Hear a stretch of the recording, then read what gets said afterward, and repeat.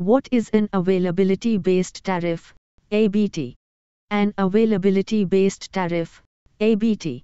An availability based tariff, ABT, is a pricing mechanism used in the electricity market to incentivize generators to provide reliable power and discourage them from deviating from their schedules.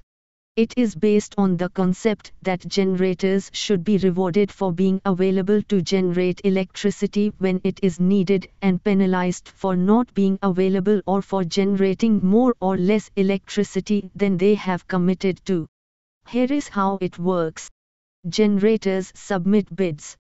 Generators submit bids to the grid operator specifying the price at which they are willing to sell electricity and the amount of electricity they can generate. Grid operator selects bids. The grid operator selects the bids that will meet the demand for electricity at the lowest cost. Generators are paid based on availability and performance. Generators are paid based on their availability to generate electricity and their performance in meeting their commitments.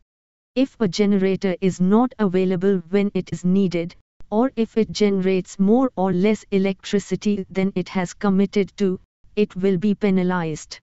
ABTs can be used to achieve several objectives, including improving grid reliability, by incentivizing generators to be available and to meet their commitments, ABTs can help to improve the reliability of the electricity grid.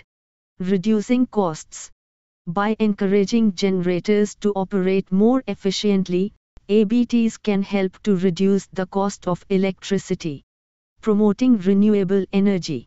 ABTs can be designed to give preference to renewable energy generators, which can help to promote the development of renewable energy sources.